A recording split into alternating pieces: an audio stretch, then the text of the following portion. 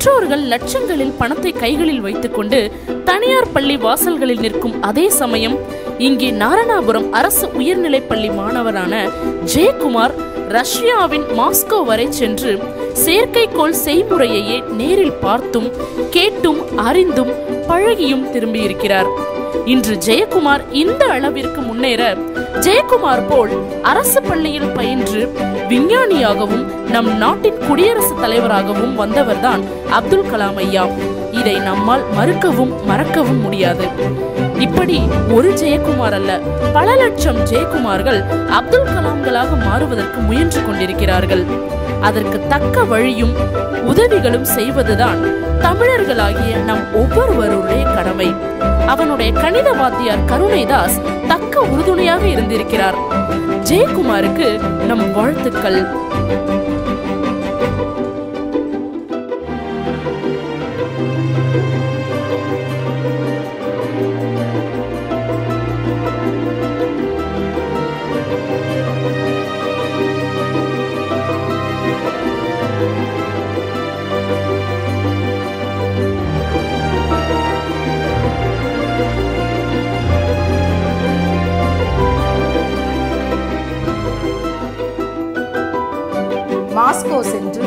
பல அறிவியல் அனுபவங்களுடன் திரும்பிய அரசு பள்ளி மாணவன் ஜெயக்குமாரையும் அவரது ஆசிரியர் கருணைதாஸ் அவர்களையும் சென்னை விமான நிலையத்தில் தமிழக அரசின் பள்ளிக்கல்வித்துறை சார்பில் அரசு பள்ளி ஆசிரியர்கள் வரவேற்பு செய்கின்றனர்.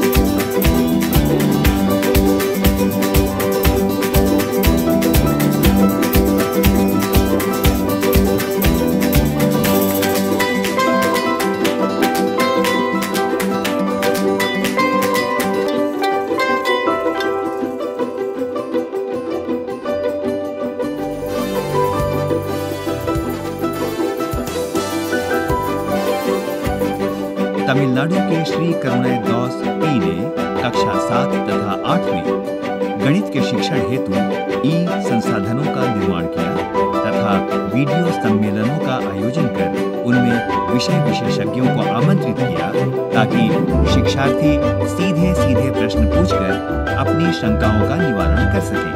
आपने शिक्षण की प्रक्रिया में मुफ़्त में उपलब्ध शिक्षण सॉफ्टवेयर और सोशल नेटवर्किंग का भी बहुतायत से इस्तेमाल किया आपके इस प्रशंसनीय कार्य हेतु आपको राष्ट्रीय आईसीटी पुरस्कार का सम्मान दिया जाता है।